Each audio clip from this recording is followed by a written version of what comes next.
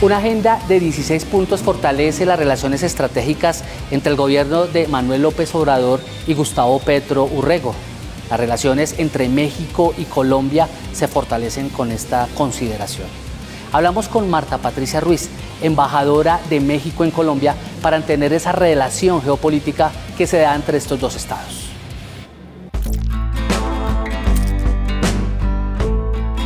México tiene una relación muy grande con Colombia, muy antigua. Desde tiempos ancestrales nuestros pueblos se comunicaban entre sí.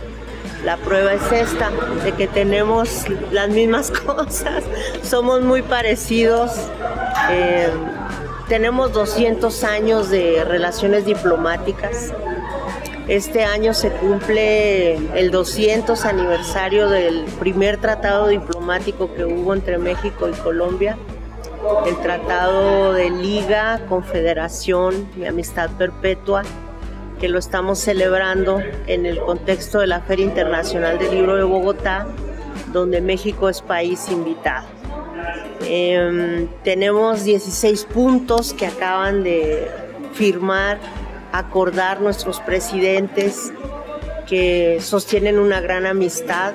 El presidente Petro Urrego y el presidente López Obrador han tenido una gran coincidencia.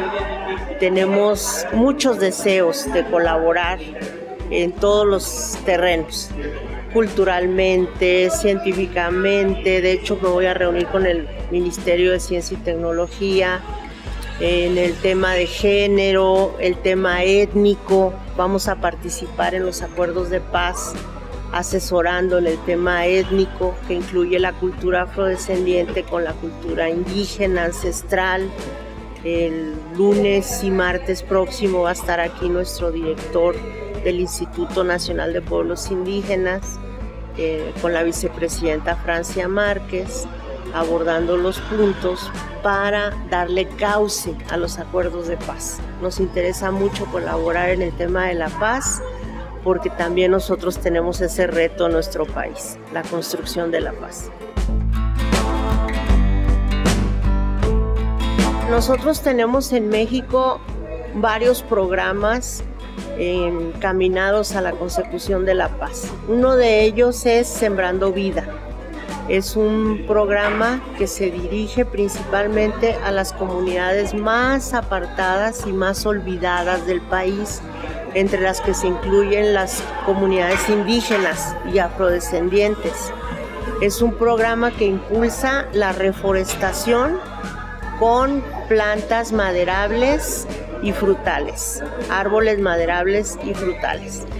Se están reforestando más de un millón de hectáreas, se han reforestado más de un millón de hectáreas, un millón quinientas mil hectáreas y se están apoyando a 500 mil familias de sembradores.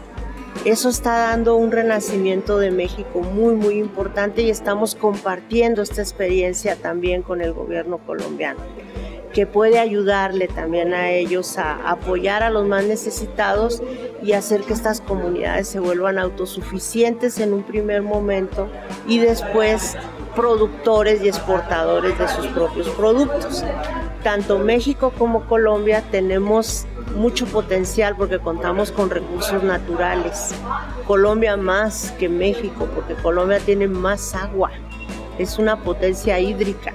Entonces, creo que podemos compartir muchas experiencias, compartir eh, buenas prácticas y colaborar entre nosotros para construir la paz en nuestros países y que nuestros pueblos tengan mejor calidad de vida y avancemos en el tema de la felicidad de nuestros pueblos.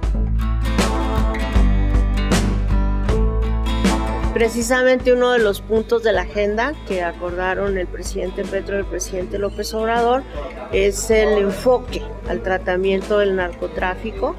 El presidente López Obrador va a estar en Colombia a finales de agosto o principios de septiembre, todavía no se ubica bien la fecha, en una gira que va a ser por Sudamérica, que va a concluir el 11 de septiembre en Chile, con la conmemoración de los 50 años del golpe contra el presidente Salvador Allende. para conjurar que nunca vuelva a ocurrir esto, que todo sea ya democracia, paz y justicia.